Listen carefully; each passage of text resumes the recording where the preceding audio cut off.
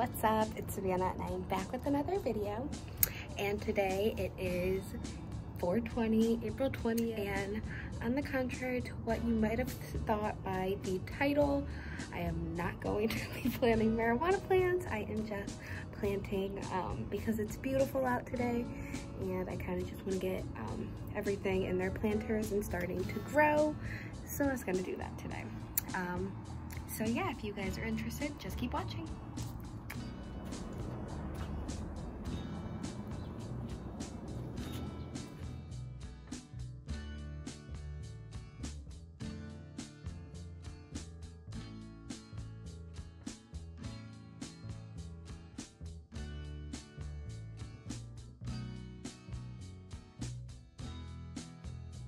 And now I'm just going to be getting everything ready, like my vegetables and all of my planters. Ooh, that's raw sunny. Um, gloves that I'm gonna be using. I got these ones, and I got these ones that have like little grips on them. Um, they're both a dollar at Dollar Tree. That's where I got literally everything.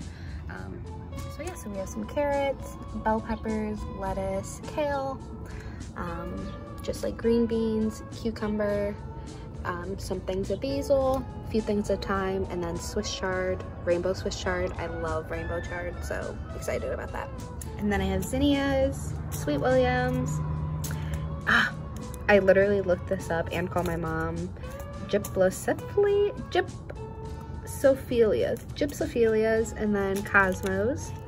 And then I got this hummingbird wild blend. Um, if you guys know my mom, she's literally obsessed with hummingbirds. So I got this. So hopefully some hummingbirds appear on my balcony. And I see some hummingbirds remind me of her. And this was $2.99 and I got it at the Dollar Tree for a dollar. So great deal. I got four of these little holders and then a four pack of these was only a dollar